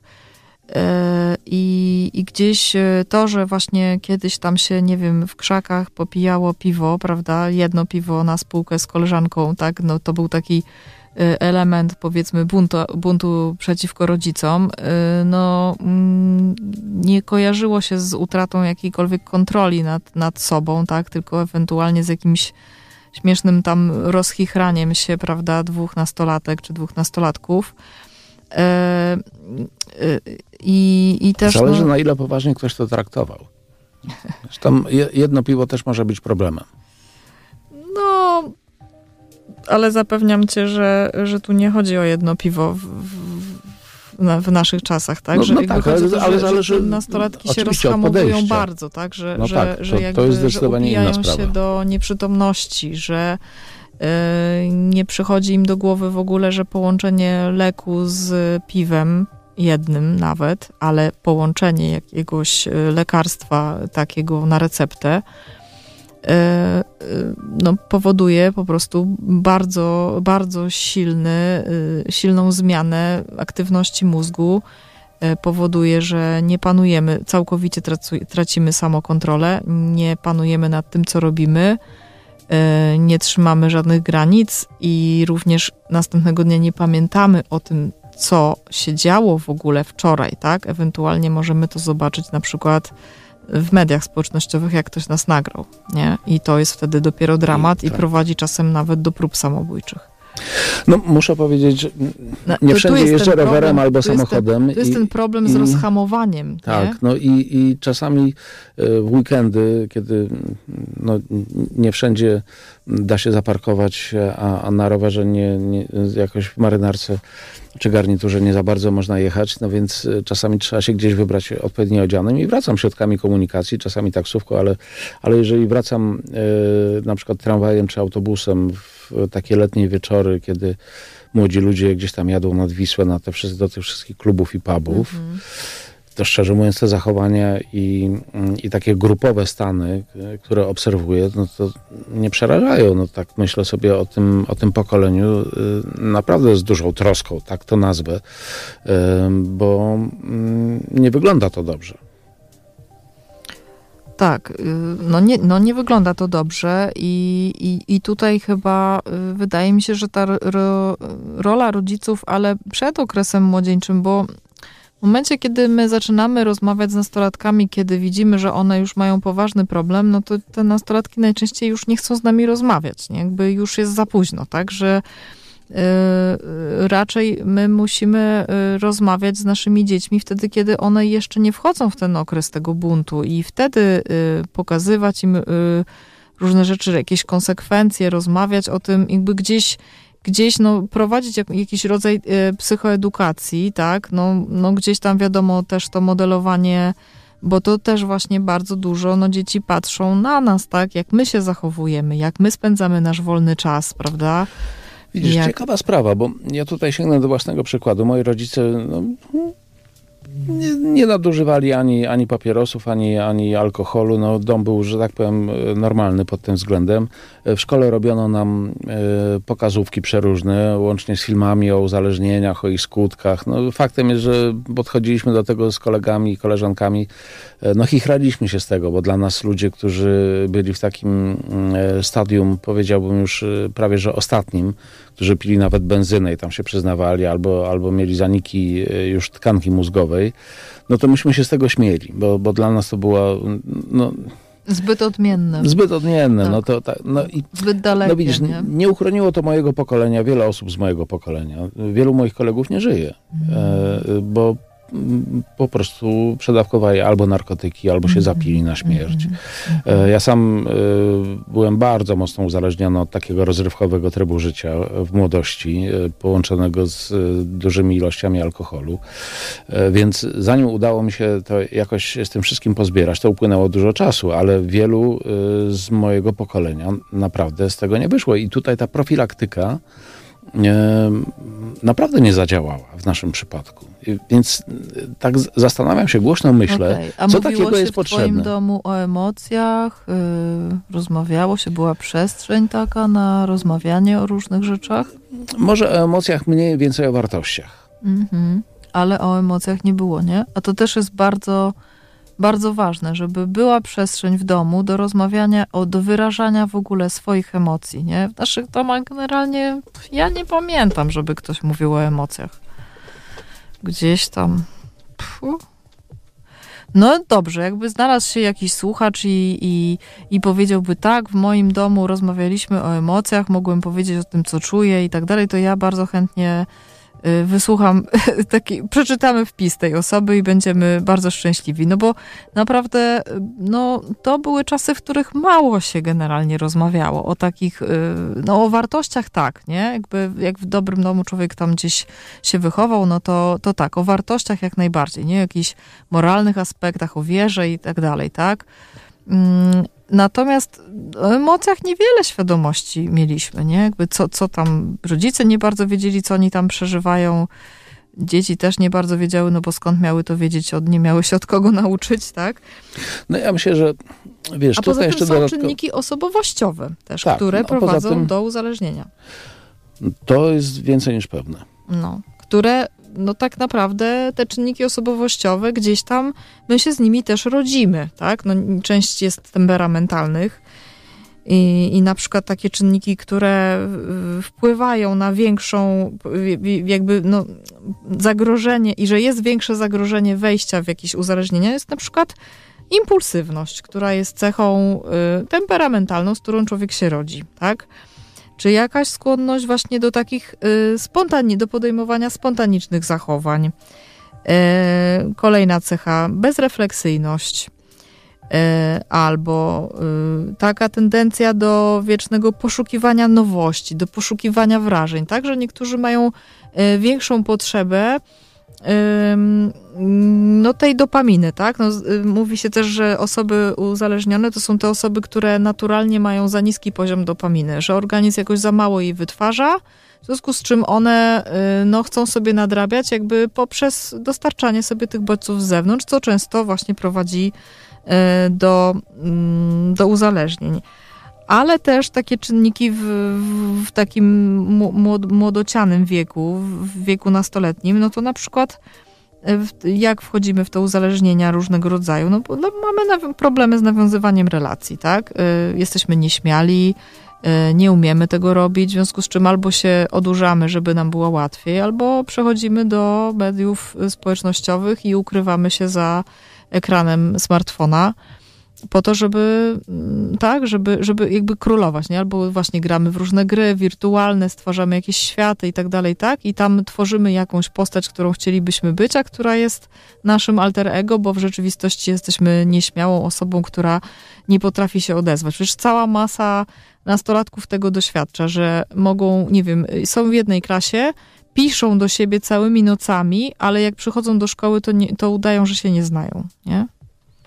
To jest, to jest jakaś, to jest Patologia. prawidłowo, ale to jest prawidłowość w tej chwili, to jest bardzo popularne, że zupełnie mają dzieci odmienne zachowania w momencie, kiedy są y, ze sobą twarzą w twarz i odrębną rzeczywistość y, mogą prowadzić naprawdę głębokie, długie rozmowy, ale tylko jak piszą do siebie wiadomości. Hmm. Natomiast na żywo w ogóle zachowują się, jakby się nie znali. Tak, ciekawe. Kiedyś, pierwszy raz chyba, to było wiele lat temu, jakoś z moją córką, która wtedy 18 urodziny obchodziła, a więc było to no, grubo, grubo ponad dekadę temu. y, Gdzieś wybraliśmy się do restauracji i wtedy pamiętam, że siedziała koło nas rodzina, nie, właściwie dwie rodziny chyba, z córeczkami i one komunikowały się ze sobą SMS-ami. No, Aha, no, tak. no, E, dokładnie. i to- Bo już, znaczy, już to jest pierwszy raz na to zobaczyłem, to już, b- którym nie potrafią ze sobą rozmawiać, nie? tylko siedzą obok siebie i piszą do siebie wiadomości. To teraz jest bardzo, bardzo powszechne To było jakieś ogóle, pół- tak? wiesz, półtorej dekady temu, wtedy mnie to No, szokowało. A, a teraz No, jest teraz to, to norma, no, tak? To jest, znaczy to nie jest norma żadna, ale no jest na poziomie, na, znaczy na, na, na porządku szokuje. codziennym, nie szokuje. Ale na przykład kolejną taką cechą jakby predysponującą do, do być może do, do, większego, do, do większego wejścia w uzależnienie, na przykład jest też e, taka cecha charakteru jak trudności e, z kontrolowaniem emocji, czyli, czyli wybuchowość, tak? Jakby, kiedy mamy taki temperament po prostu wybuchowy, to też nas bardziej e, skłania, ale no też jakby problemy e, u nastolatków, problemy z samooceną, prawda? E, Gdzie doświadczają tego, że, że ciągle, nie wiem, tam, nie wiem, rodzice im ciągle mówią, że coś jest nie tak, że coś powinni zrobić lepiej, że są niewystarczający, czyli jakby mają za wysokie oczekiwania y, i dziecko nigdy nie jest w stanie tych oczekiwań spełnić, w związku z czym y, bardziej jest podatne na to, żeby wejść w uzależnienie, bo tam dostanie szybko nagrodę, a rodzice na przykład tej nagrody nie dostarczają, bo ciągle mówią, że jest za mało, za mało, za mało, no więc przestają się starać, a tutaj jest jakaś substancja, po której się od razu fajnie czują. No i co? I czemu, i czemu nie, prawda? I jeszcze bierze się ją wśród kolegów, którzy też y, są weseli i fajni, prawda? Albo, albo nie wiem, rodzice ciągle y, mnie krytykują, ale jak pójdę w internet, to, to tam wstawię coś i dostaję lajki, ktoś mi napisze, że ładnie wyglądam i tak dalej, i tak dalej, tak? No jakby i tam dostaję nagrodę. I, i, Czy uważasz, że to jest zespół przyczyn, który e, powoduje, że młodzież przypisuje takim patologicznym zachowaniom dużą wartość? Czyli właśnie to oderwanie się od takiego rodzicielskiego, e, rodzinnego e, stadła ku, e, ku środowisku, które ich akceptuje tak. z jakimiś potrzebami, Tak, które nie są dostają- zaspokajane w rodzinie? Dokładnie tak. Tam dostają akceptację, dostają uwagę. No już pal licho, że to jest takie wszystko y, też sztuczne, prawda? Ale daje Bo wrażenie, okazuje się, prawda? sytuację weryfikują dopiero um, przyjaźnie, rzeczywistość się Tak, weryfikuje, dokładnie. kiedy okazują się Natomiast- jakieś trudne problemy. Nado- natomiast daje wrażenie właśnie tej akceptacji, e, tak, e, tego, że się jest zauważonym, że się ma tych przyjaciół w ogóle, tak, że nie jest się gdzieś tam e, odtrąconym, prawda, no jakby tam się dostaje dużo głasków, no i na przykład w domu, w którym jest za dużo wymagań i ciągła, ciągły brak e, zadowolenia rodziców z dziecka, no, no jakby naturalnie też to dziecko jest wypychane na zewnątrz, nie? Szukania gdzie indziej. Dzisiaj w Nocnych Światłach cykl na kozetce o uzależnieniach dzieci i młodzieży w XXI stuleciu rozmawiamy. Jak uchronić dzieci przed zagrożeniami, o tym będziemy już powoli e, się przechylać e, w tę stronę e, zagadnień. Anna Czyżewska jest z nami, psychoterapeutka z Centrum Psychoterapii Integratywnej. Na Facebooku miejsce na Państwa komentarze, tam zapraszam profil Radia Plus pod pierwszym postem od góry. Uzależnienia dzieci i młodzieży w XXI stuleciu. Jak uchronić dzieci i młodzież przed zagrożeniami? O tym dzisiaj rozmawiamy w Nocnych Światłach w cyklu na kozetce. Anna Czyżewska jest z nami, psychoterapeutka z Centrum psychoterapii integratywnej. Y, Facebook to miejsce na Państwa komentarze. Tam zapraszamy. Profil Radia Plus pod pierwszym postem od góry. Y, komentarze, myśli, wątki um, i doświadczenia, refleksje. Także y, tam Nie zapraszamy. Nie uzależniamy, ale dostaniecie Państwo nagrodę za wpis. Przeczytamy. tak. Jedną rzecz jeszcze, zanim przejdziemy może już do tego, jak chronić dziecko przed uzależnieniami, na jedną rzecz jeszcze chciałbym zwrócić uwagę, która bardzo często umyka um, tej klasyfikacji uzależnienia, a co więcej, zyskuje aprobatę rodziców. Jedzenie i fast foody. No, dokładnie. Tak jak powiedziałam na początku, że mózg ludzki jest w stanie uzależnić się dokładnie od wszystkiego i no i niestety uzależniamy się również od jedzenia, tak? Właśnie tą pierwszą substancją, która nam daje y, od razu szybką nagrodę, no to jest cukier, prawda? Kiedy jesteśmy bardzo głodni, to tak naprawdę y, najszybciej y, poczujemy się syci, kiedy zjemy coś słodkiego. Oczywiście nie należy tego robić, tak? No bo, mm, no bo nie jest to nic zdrowego, ale no taka jest prawda, że cukier y, prosty najszybciej dostaje się do, do, do mózgu i najszybciej dostajemy nagrodę. I to wszystko jest też w tych fast foodach, tak? Tam też jest dużo cukru, też no są te wszystkie mm, wzmacniacze smaku, które również nas uzależniają niestety, tak? Które y, jakby zaburzają też działanie tego ośrodka sytości, więc y, od tych wszystkich wzmacniaczy możemy zjeść dużo więcej, tak? Mamy właśnie y, większy apetyt, gdzie, gdzie, gdzie no, nasz organizm nam z opóźnionym zapłonem mówi, że, że już jesteśmy najedzeni i najczęściej po zjedzeniu fast foodu czujemy się przepełnieni, tak? Bo, bo często zjedliśmy tego za dużo po prostu, tak? Bo, bo organizm nam na czas nie powiedział, że już wystarczy. Nieżyjący Elvis Presley, a propos cukru prostego, e, zanim no, tak się e, stało, że e, uzależnił się również w dużej mierze od narkotyków i, i mhm. środków stricte już takich psychoaktywnych, to ci, którzy go znali, mówili, że on się pobudzał po prostu glukozą. No Miał tak. słoik z glukozą i jak no. mu spadało mm, jakoś tam no, taka mm. aktywność czy, czy coś, no to po prostu łapał słoik z glukozą, wcinał i co więcej jeszcze ludziom wpychał. No chodźcie, chodźcie, idziemy gdzieś tam w miasto, chodźcie, idziemy się bawić. No. Właśnie i ta glukoza wcale nie musi mieć nie wiadomo jakiego smaku, a i tak i tak nam mm, tą dopaminkę podniesie, prawda? Więc e, nawet tutaj nie chodzi o smakowanie, tylko chodzi po prostu o, o zwyczajnie w świecie cukier, tak? No już nie mówiąc potem o skutkach e, w postaci zaburzeń e, nie tylko psychoaktywnych, znaczy psychicznych, ale, e, ale i również fizycznych, tak, trawienia, tak, tak, no, tak. Mm, za, zaburzeń odżywiania. No znaczy, i cukier, cukrzycy no, chociażby. No. Cukrzyca to jest jedna rzecz, nadciśnienie następna rzecz, ale czy nam nadwaga i, i, i wiele innych różnych takich właśnie zdrowotnych konsekwencji, ale też trzeba pamiętać, no, że ten cukier bardzo źle działa na, na tą florę bakteryjną, która odpowiada za wytwarzanie się właśnie różnych tych dobrych substancji typu serotonina, tak?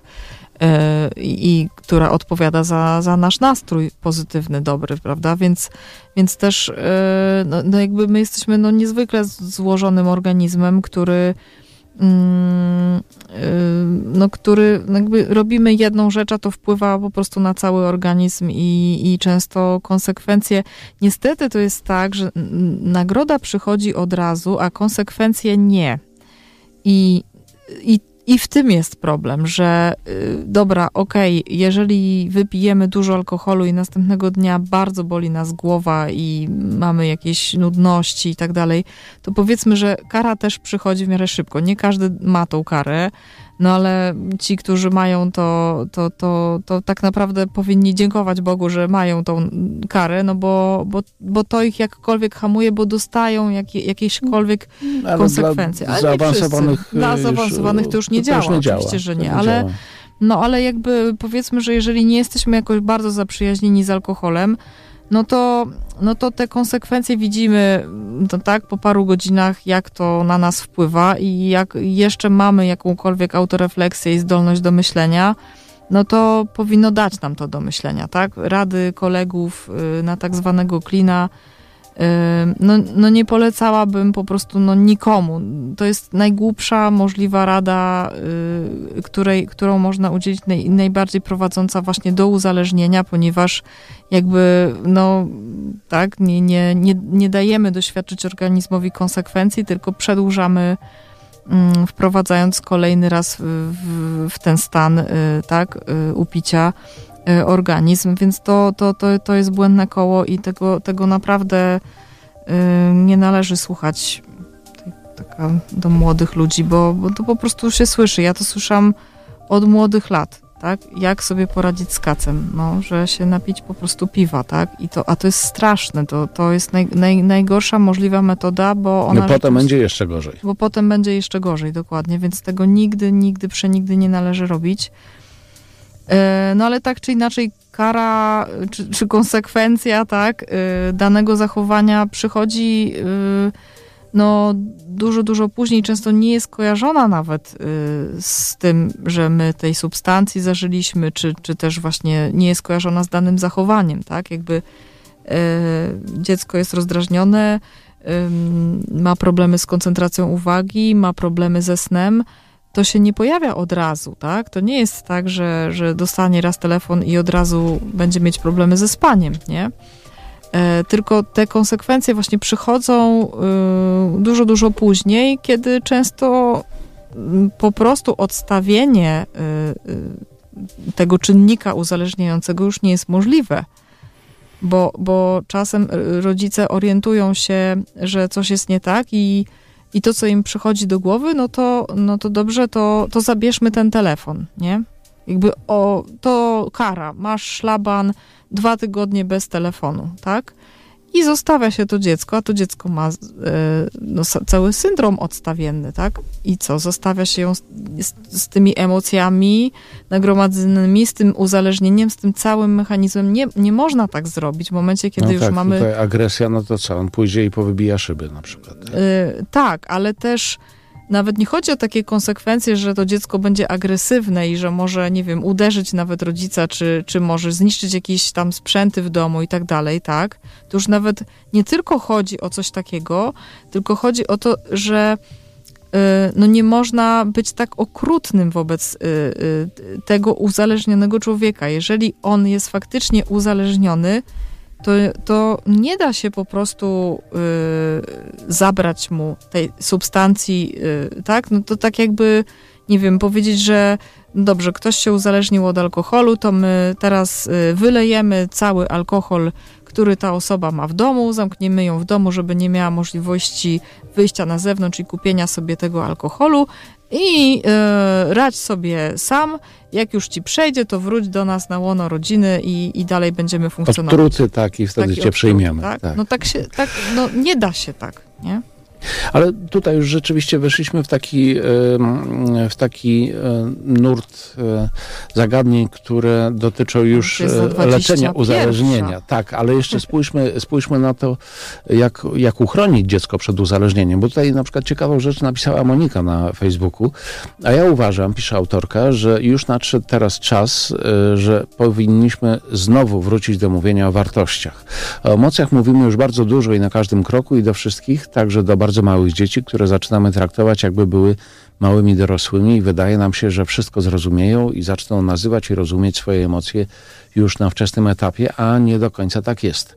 Obserwuję to już od kilku dobrych lat, pracuję w edukacji, jest mi bliskie rodzicielstwo bliskości, słuchanie dziecka i temu podobne, mhm. ale zdecydowanie gdzieś już nam to się zaczyna wymykać spod jakiejkolwiek kontroli i wbrew zdrowemu rozsądkowi. Martwię się, że rośnie nam pokolenie typu ja potrzebuję, należy mi się, daj. Tak. Ech, można by pisać i pisać na ten temat. Tyle Monika. No tak, ja się z tym, ja się z tym zgadzam, tak, no bo to, co, to o czym rozmawialiśmy na początku też, że problemem naszych czasów jest to, że wszystko y, nam się należy, że wszystko musimy dostać już natychmiast w tej chwili, na nic nie musimy czekać, tak, i y, i w związku z tym nie wykształcają nam się mechanizmy samokontroli, nie wykształcają się mechanizmy y, umiejętności odraczania nagród i tak dalej, i tak dalej. Także my po prostu, no, no współczesne społeczeństwo, przynajmniej no, jakby w takim nazwijmy to dobrostanie, w jakim żyje Europa, tak? No bo nie mówię, że, że to dotyczy wszystkich krajów na świecie, ale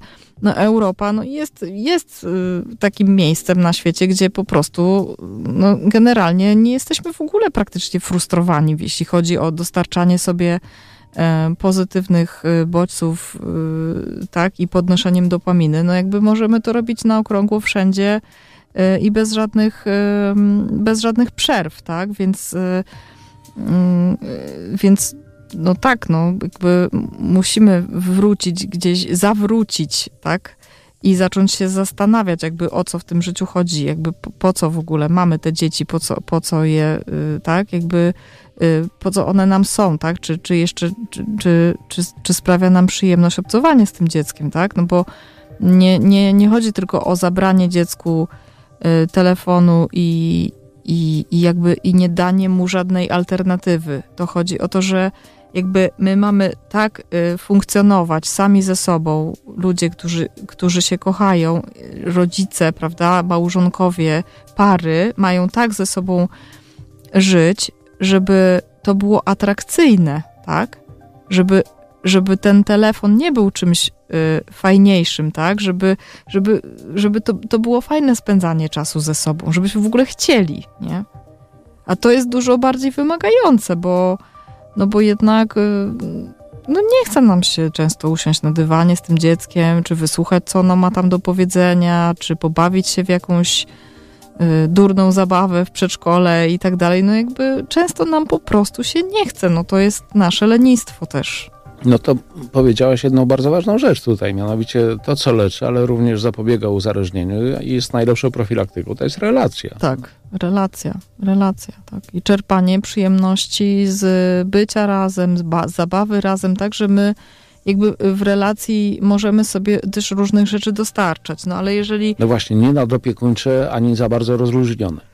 E, tak, i, e, i złe jest e, właśnie te, te, te, nadmierne oczekiwania rodziców, które są stawiane dziecku i dziecko doświadcza ciągle takiej deprymacji, deprywacji, przepraszam, jakby takich potrzeb bycia, bycia gdzieś tam zauważonym, docenionym ale też nadopiekuńczość i zbyt niskie wymagania są równie złe, tak? Jakby to, to też do niczego nie prowadzi, nie? Że, że my musimy Mm, jakby gdzieś tam no, wewnętrznie sobie odpowiadać na pytanie, jakby po co tutaj jesteśmy, y, gdzie idziemy y, i, jakby i szukać tego sensu, a jednak y, no, najłatwiej sens, tak rzecz ujmując od strony takiej ludzkiej, no to najłatwiej odnajdujemy sens w relacjach. No tak, jeżeli młody człowiek wie, że w każdej chwili może przyjść do rodzica i, i porozmawiać, że zostanie zaakceptowany, a nie skrytykowany czy odrzucony nawet, no to powoduje, że dziecko czuje się bezpiecznie i to w takiej e, relacji nadopiekuńczej albo zbyt luzackiej na, na pewno nie będzie, e, nie będzie miało e, takiej przestrzeni. Tak, muszą być jakieś granice i, i jakby dziecko y, czuje się bezpiecznie, kiedy ono to czuje, kiedy kiedy one są wyznaczone, nie zawsze się oczywiście z nimi zgadza, tak? Ale, ale musi wiedzieć, że one istnieją, nie? Za chwilkę ostatnia część dzisiejszego wydania Nocnych Świateł. Po piosence wracamy do Państwa na ostatni kwadrans tego wieczora w cyklu na Kozetce o uzależnieniach dzieci i młodzieży w XXI stuleciu. Jak uchronić dzieci przed zagrożeniami? O tym rozmawiamy z Anną Czyżewską, psychoterapeutką z Centrum Psychoterapii Integratywnej. E, ostatnie minuty także dla Państwa. E, zapraszamy na Facebook, profil Radia Plus pod pierwszym postem od góry. Za 14 niespełna minut minie godzina pierwsza. Niecały kwadrans nam pozostał do końca dzisiejszego wydania programu. E, w Nocnych Światłach dzisiaj cykl na kozetce, a w nim o uzależnieniach dzieci i młodzieży w XXI stuleciu. Jak uchronić dzieci przed zagrożeniami? O tym jeszcze przez y, prawie kwadrans. Anna Czyżewska jest z nami, psychoterapeutka z Centrum Psychoterapii Integratywnej. Warto zadać pytanie e, tutaj, skoro no już tutaj pod koniec poprzedniej części doszliśmy do, do tego, że ta relacja właściwie jest najlepszą profilaktyką, e, no to dlaczego dzieci mają problem z uzależnieniem, wydaje się być również pytaniem powiedziałbym, no takim retorycznym, no bo relacje w rodzinie um, nie są za dobre. No tak, znaczy no, jakby do, do uzależnienia dochodzi dlatego, że y, dostajemy jakąś nagrodę. Nie? Jakby jest ta nagroda, jest przyjemność y, i jakby to jest ten mechanizm uzależnienia, tak? Dlatego mm, jakby łatwo jest w to wejść. No oczywiście no nie wszyscy się uzależniamy, ale no jest to duży problem jednak, yy, dosyć powszechny w ostatnim czasie, pewnie w różnym natężeniu, ale dosyć powszechny. I, i jakby sam mechanizm, myślę, że w sam mechanizm bardzo łatwo jest wpaść. Natomiast mm, czyli można by było powiedzieć, że nawet potencjalnie normalnych, zdrowych rodzinach, yy, no jakby dochodzi do, do różnego rodzaju uzależnień yy, i nie można tutaj jakby, nie wiem, ob, obwiniać się i, i, i, i, gdzieś tam właśnie bić w piersi, bo to też nic nie daje, tak? Ale trzeba po prostu mieć taką uważność, tak? Że, że, że są pewne te predyspozycje, e, które mogą nas bardziej popychać, tak? No na pewno y, takie czynniki genetyczne, że gdzieś w rodzinie mamy różnego rodzaju skłonności. Na pewno warto zrobić sobie takie przyjrzenie się, przejrzenie naszej rodziny i, i zobaczyć, tak, jakby w jakiego rodzaju uzależnienia y, mamy skłonności do popadania. W jednej rodzinie tak męża, w rodzinie żony. Poprzyglądać się temu też, tak, jakby może one nie były kiedyś tam jakoś nazwane, ale może właśnie bo kiedyś, no to tak, no jakby jak od alkoholu, no to każdy wiedział, ale od innych rzeczy, no to może już no, nie było aż to tak popularne, żeby to nazywać, ale, ale gdzieś tam jakieś pewne y, prawidłowości są. Więc y, na pewno ten, ten czynnik, y, czynnik genetyczny, no trzeba na to patrzeć, tak? Dru- kolejnym takim czynnikiem, no jest to jakiś tam czynnik środowiskowy, tak? No, no nie tylko nie tylko ta rodzina, tylko no też ma wpływ na to, e, no, w jakim otoczeniu się na przykład nastolatki, e, tak, w, w jakby kim one się otaczają, nie?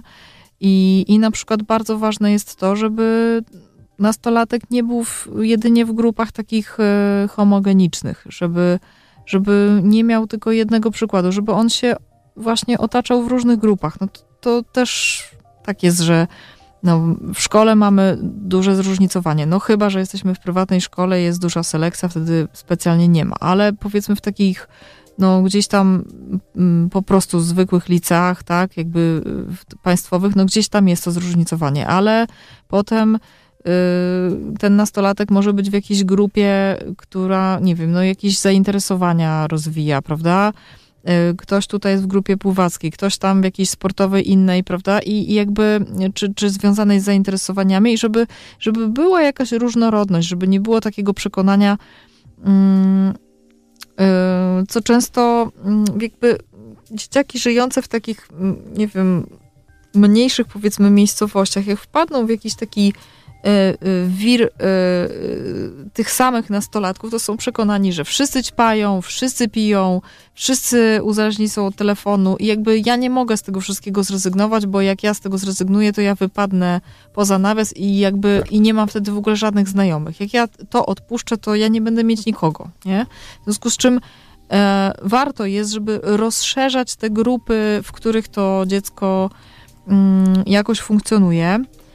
E, Natomiast no, no takie czynniki oczywiście też kulturowe, te, te normy, prawda, które, które gdzieś tam mm, sprzedajemy właśnie w rodzinach, tak, no w jaki sposób my spędzamy nasz wolny czas, jakby, tak, y, y, od czego jesteśmy skłonni się właśnie uzależniać.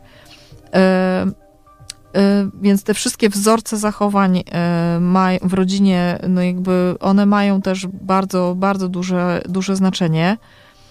E, no i tak jak, tak jak wcześniej powiedziałam, no te czynniki też osobowościowe, jakieś temperamentalne, tak, że, że my możemy po prostu, no, no proponowałabym, żeby trochę więcej się pozastanawiać, tak, co nam ewentualnie grozi, nie? I żebyśmy nie kojarzyli e, stanów uzależnień jedynie właśnie z alkoholizmem naszego wujka, ojca, matki czy kogoś tam, tak, że, że, że kojarzymy to, że dobra, no to jest ten alkoholik, prawda, czy tam narkoman, tylko żebyśmy mieli świadomość tego, że te mechanizmy y, uzależnień, że one się wytwarzają już w tym pierwszym okresie życia, prawda? Że, że, że już pewne rzeczy y, mogą zaowocować jakimiś późniejszymi problemami. One mogą, to mogą być jakieś takie zalążki w ogóle, tak? Skłonności do uzależnień, które później zaowocują większymi problemami, kiedy już to dziecko jest dorastające, czy jest młodym dorosłym, a te wzorce, y, czy te, czy te nieprawidłowe wzorce gdzieś tam zostały już ukształtowane, więc no tak jak zawsze, tak, no lepsza jest profilaktyka i, i, i lepiej jest zapobiegać pewnym rzeczom, y, niż później to leczyć, tak, niż później y, jakoś z tego wychodzić.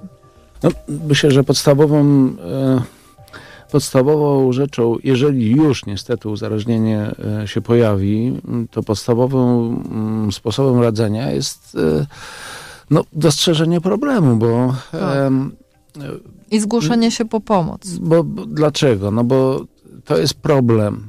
E, a więc jeżeli jest problem, to znaczy, że problem wygeneruje kolejne problemy. Jeżeli rodzice mm, chcą wychowywać dziecko bezstresowo, a pewnie są tacy, to dojdą do wniosku, on się sam wyreguluje.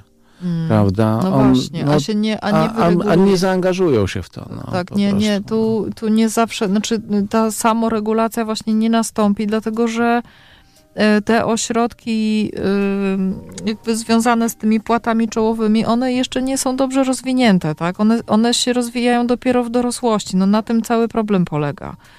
E, zresztą mm, no właśnie też widać u osób uzależnionych, że, że czy, czy takich, które mają większą skłonność w ogóle do, do wchodzenia w uzależnienie, to jest to, że ta, że ta kora przedczołowa u nich y, generalnie gorzej funkcjonuje, że są jakieś zaburzenia, y, zaburzenia funkcjonowania mózgu w obszarze kory przedczołowej, natomiast y, dużo większa aktywność mózgu jest jakby w tym ośrodku przyjemności, tak, że, że, że, to, że, że jakby są pewne mózgi, które są bardziej predysponowane do tego, żeby wejść w uzależnienie, nie? I to są oczywiście czynniki biologiczne, na które nie mamy wpływu, ale, ale możemy tak naprawdę obserwować to już u dzieci, tak? Bo, bo już u bardzo małych dzieci widać pewne, pewne rzeczy, tak? Y, mm, czy, czy umie poczekać na, na właśnie na nagrodę, czy jest wybuchowe, czy od razu chce dostać swoje, czy nie, nie umie wytrzymać, czy, czy będzie wymuszać różne rzeczy, tak? Jakby, że my, my, my jakby mo możemy też to w jakiś sposób regulować, że to nie jest taka już gotowa konstrukcja, która jest jakby niepodatna na zmianę, bo, bo, to, bo ta, tak naprawdę ta neuroplastyczność u dzieci jest niezwykle duża. I z jednej strony to jest fajne, bo my możemy właśnie kształtować jakieś pozytywne wzorce, a z drugiej strony jest to zagrożenie, bo jeżeli my to odpuścimy, to przejmie za nas to właśnie telefon. Tak? Albo środowisko. Albo środowisko, dokładnie. Hmm.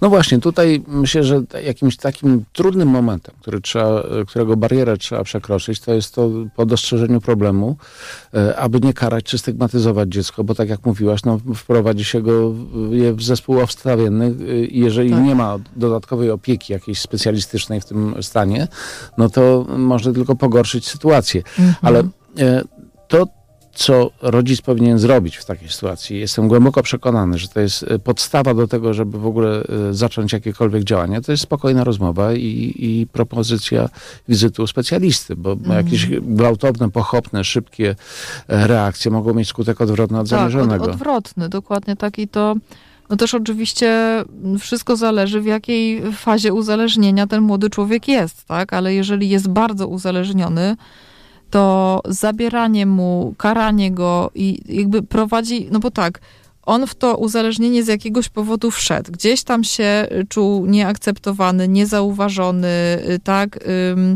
z niską samooceną, z, z jakimiś problemami, których, y, których nie, nie, nie umiał rozwiązać i już jakby sam fakt wejścia jest tylko symptomem tego, że z nim coś było nie tak, że nie umiał sobie z czymś poradzić, został z czymś sam, prawda? I teraz jakby odbieramy mu to, co mu pomagało, i jeszcze bardziej zostaje sam, tak? Jeszcze bardziej do niego mówimy, musisz sobie z tym poradzić sam, czy sama, nie? To, to jest... Ym, to jest tak naprawdę no, bardzo duże okrucieństwo wobec uzależnionej osoby, która na tym etapie nie umie sobie, bo tak nawet jak się pracuje w terapii, prawda, to jak się w terapii rozbrajamy osobę z jej mechanizmów obronnych, tak, i, i stopniowo pokazujemy, pokazujemy, obnażamy jakby te pewne mechanizmy po to, żeby, żeby po prostu zbudować jakieś bardziej konstruktywne. Ale nie możemy, jakby też terapeuta bierze za to odpowiedzialność, że nie może wszystkiego rozbroić od razu, tak? i nie dać żadnych zastępczych metod tak, radzenia bo sobie. rozbije człowieka. Bo no. to kompletnie go rozwali, nie? Jakby nie możemy do takiej rzeczy doprowadzić. Tymczasem rodzice nastolatków myślą, że jak tak. po prostu... Najlepsza metoda to siekiera. Tak, że jak, jak zabiorą po prostu telefon i odetną tak od y, złych znajomych, prawda? To, że y, to, to, że to i, i zapędzą je do roboty jakiejś tam, tak, weź się zacznij uczyć, albo jakiejś fizycznej, zacznij coś robić w domu, że no, to rozwiąże mógł, wszystkie problemy. Pewnie, no. nie? A niestety tak nie jest. To, co chciałbym powtórzyć na koniec, y, co powinno tutaj wybrzmieć, y, to na pewno, aby nie dawać dzieciom przykładu. E, czyli to, jeżeli no, pytamy się, dlaczego dziecko pali, a sami palimy, czy, czy dlaczego dziecko pije, a w domu regularnie pijemy alkohol i to nieraz ponad miarę, e, czy jak tutaj zwróciłaś uwagę... Telefonem. Korzystamy siedzimy dużo z tak, telefonem. Tele, i, telefon, i komputer, telewizja ten telefon, tak a sami siedzimy w telefonie, więc no, no niestety no i, i, bardzo często tak jest, że my tego nie widzimy, nie? że widzimy nieprawidłowe zachowanie u dziecka, natomiast nie dostrzegamy tego, że to nieprawidłowe zachowanie u dziecka wynika dokładnie z tego, że ono nas naśladuje. No tak, dzieci, jak dobrze wiemy, e, są bardzo bacznymi obserwatorami. E, parokrotnie już zamieszczałem tutaj filmik e, taki na Facebooku, który pokazywał, jak to dzieci z wielką uwagą naśladują wszystkie patologie, których dopuszczają się ich rodzice. Więc nie będę już tego powtarzał, proszę Państwa, oszczędzę to, tego Państwu, ale to naprawdę wystarczy wpisać na YouTubie e, dzieci na, naśladują rodziców i ten filmik zaledwie mhm. dwuminutowy Państwo będą mogli obejrzeć. Kto wie, czy to nie jest to terapia przed snem, aby naprawdę rozejrzeć się, czy my swoim dzieciom nie serwujemy jakichś zachowań zupełnie bezwiednie, które mogą je destruktywnie jakoś kształtować.